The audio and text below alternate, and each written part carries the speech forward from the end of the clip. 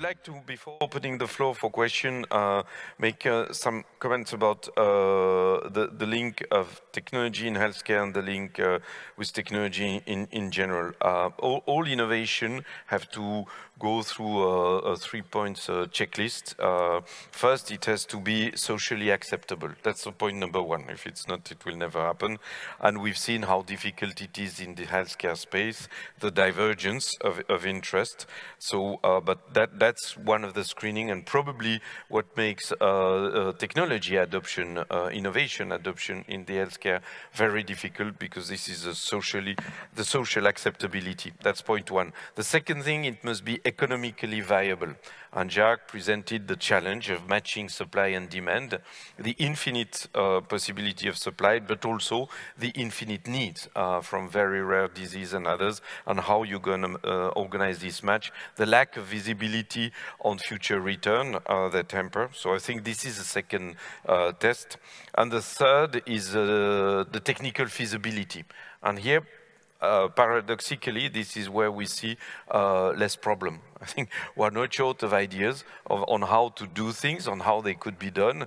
But I think here in healthcare, we struggle in particular with the first two. And these are the challenge, I think, even from a technology standpoint, where we should focus.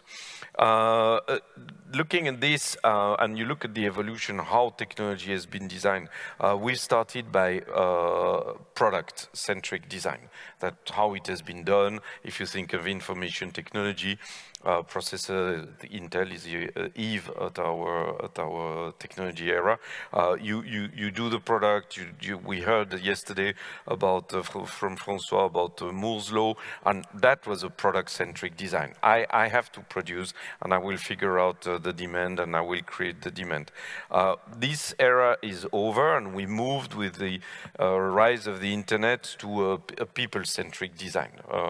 unfortunately, so far it has been a very consumer-centric design, uh, where uh, when you are the object, uh, you have to wonder what it means to you. But that's a, that's a reality.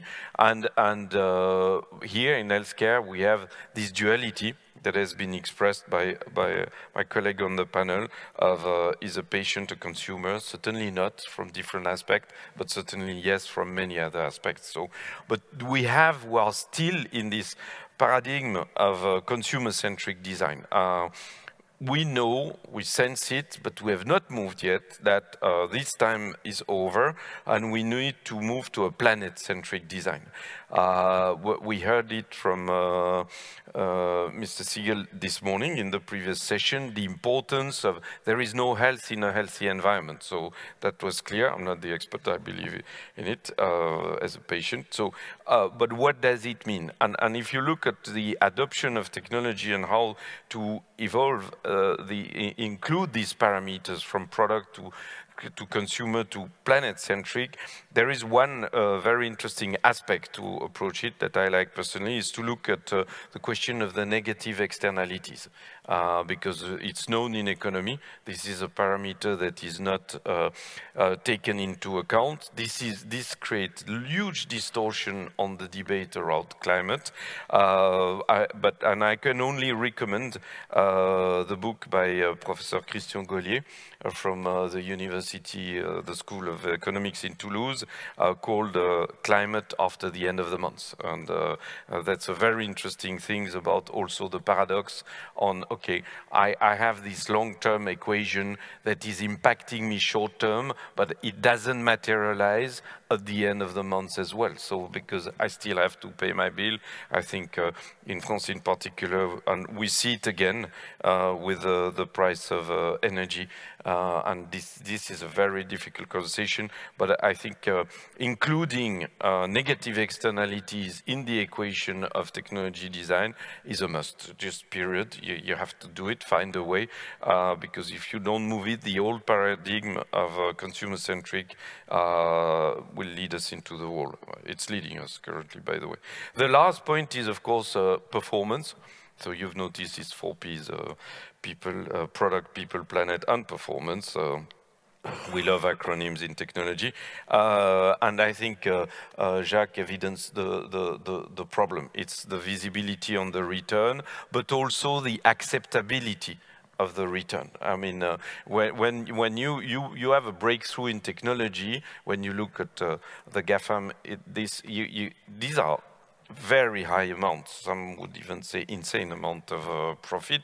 That gives you, when you have Mr. Zuckerberg welcoming Prime Minister Modi and say, this is the third and the fourth largest state in the world meeting, you say, you wonder if really Facebook is a state, but he said, yeah, I have 1.3 billion users, so I mean, it's almost as big as India. That creates some distortion and rejection of the population about, uh, about the technology evolution. And I think we're at a phase right now in our society, and this has been evidenced by uh, another professor of economy, uh, Carlota Perez, on the, on the, the, the, the, the economy, the financials of technology that shows there is always a cycle where there, there is this a huge development that is understood only by a few that makes a lot of money and then there is a crisis a crisis of trust we heard the question and then society needs to reappropriate uh, uh, technology because they have as I often say, uh, a bigger problem to solve than the ego of some of the big tech CEOs. Um, I didn't mention one in particular. Uh, so that that's the thing, and uh, I, I think that's the, the perspective on technology. So the parameters are here, uh, but it's a, it's a complex equation. But I think what is good is we've learned a lot, we've built assets, and now we understand the parameters. So if we get together with some more of a holistic views, we should be able to map some ways forward and anticipate, it is was said before, and prepare for the future. So I'm rather on the not utopian, but optimist side of the technology.